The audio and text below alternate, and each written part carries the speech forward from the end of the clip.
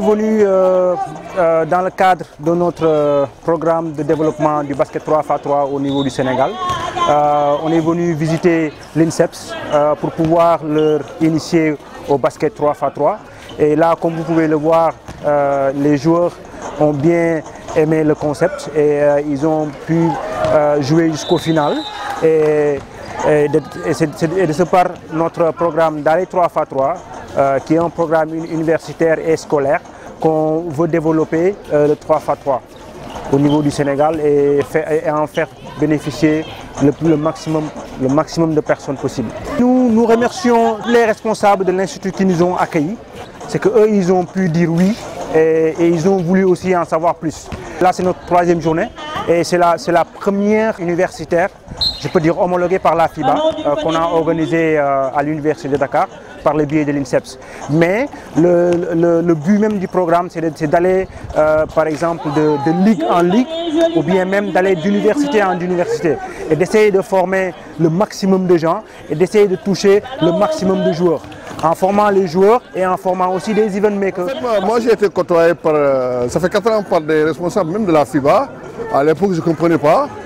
Puis tout d'un coup, ben, j'ai ben, le j'ai vu que le 3 contre 3 est en train de se développer. Et puis voilà, j'ai échangé avec Maniaï qui m'a mis en rapport avec le jeune qui est là, Moustapha. Pour aujourd'hui, c'est vraiment de nous, de nous fournir le maximum d'informations euh, concernant l'esprit et la philosophie du 3 contre 3.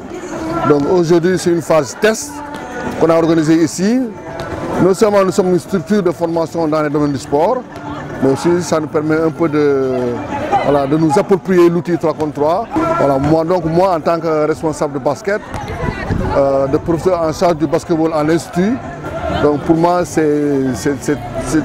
rentre dans le cadre du naturel, vraiment de, le proposer ici à l'INSEP en partenariat avec, euh, avec Moustapha, avec son organisation. En tout cas, nous, pour ce qui nous concerne, euh, l'INSEP ici,